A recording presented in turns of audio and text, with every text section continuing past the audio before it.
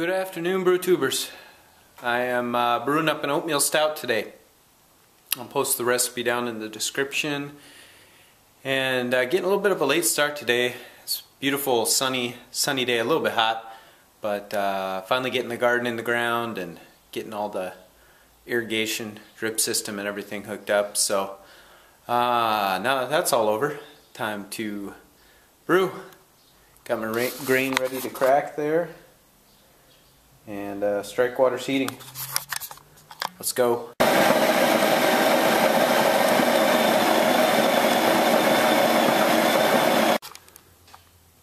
In my grain bill today I have uh, two pounds of flaked oats that I have toasted myself. These are just regular old Walmart brand rolled oats and toasted them in the oven for a while to get them a little darker toasting my oats in the oven in preparation for an oatmeal stout. Alright, today we are shooting for a mash temp of 155 to start. A little hotter, nice and malty beer.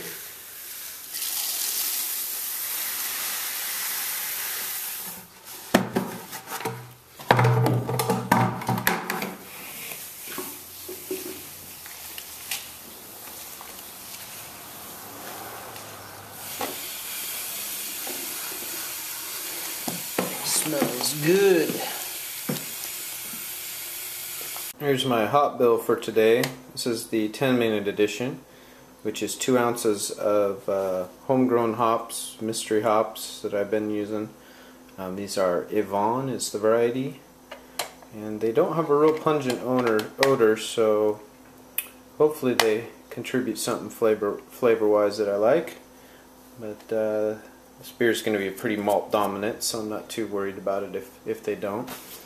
Um, and then Chinook for bittering, up to uh, getting me up to about 55-60 IBUs. So I'm doing something a little bit different with the uh, sparge today. This is my mash schedule. Um, pretty much a no sparge type experiment where dough in at 155 for 45 minutes. And then I'm going to put in uh, some 185 degree water to get it up to 170 and then let that sit probably not 30 minutes. I don't know why I have 30 minutes there but um, I just had to fiddle with the volumes of water to get it right to where after I get up to mash out I should be able to just recirculate then drain and then have all my pre-boil volume so we will see how that uh, how that all works. So you can see I've damn near filled up my whole mash tun now with the uh, the next infusion in there. And I didn't quite get to 170. Still only 167-ish. And uh, stirred it, so challenge here will be uh, recirculating I think. And here come the first runnings. So far so good. It's not real chunky or grainy or anything, so see what happens. And we're draining. I recirculated three gallons. No foil this time. It was so deep and soupy I thought it wouldn't really make a difference.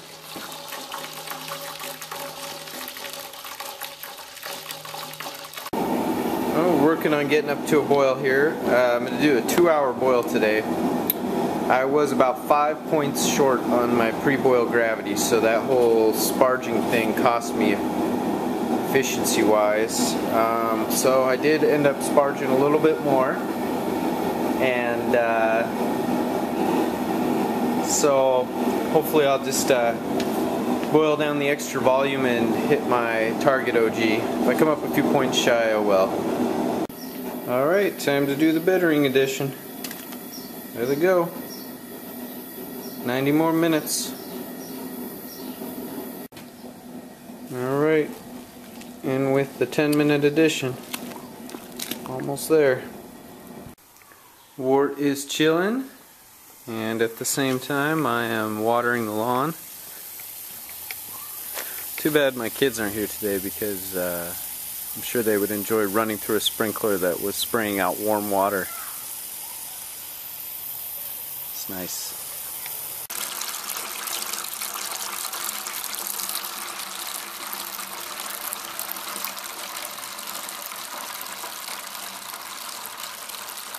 I'm going to pitch uh, US-05 in this one.